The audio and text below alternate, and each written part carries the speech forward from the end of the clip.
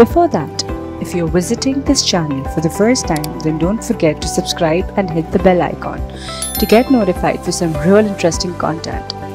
Let's begin.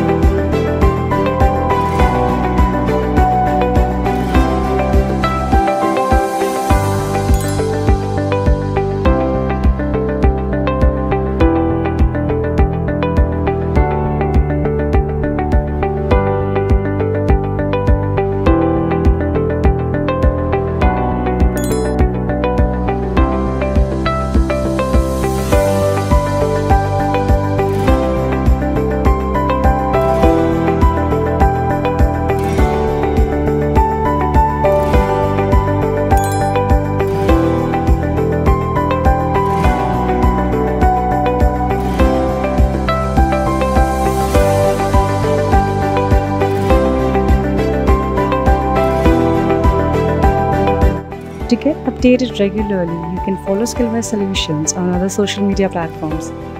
If you have any questions, do let us know in the comment section. See you till the next time.